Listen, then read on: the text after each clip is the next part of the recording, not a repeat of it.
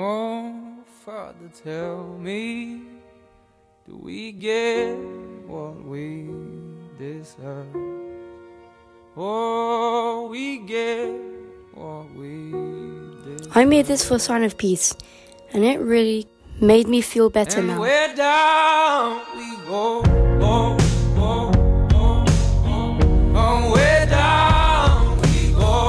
It made me remember some of my memories on the Crown SMP.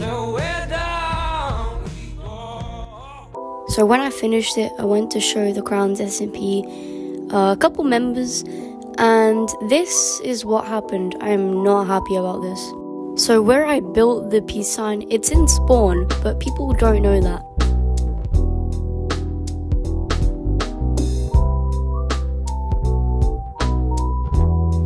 I tried a water clutch and I didn't, and I got on half a heart. And this guy tried to attack me because he thought this was not spawn. And I did log off because I knew that this was not right and it was in spawn, and I didn't want to attack him because I knew that I would get banned for a couple days, so I didn't do anything. I made this statue for a sign of peace, and this is what I get. But, anyways, I sent the footage to the owners, and I'm still trying to see if they're gonna ban him.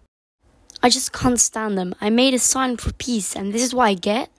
Come on, you're better than this. Don't attack the SMP. I have no other choice then. I'm sorry. No! Now it's my turn to take over. I'm gonna make this server 100% peace.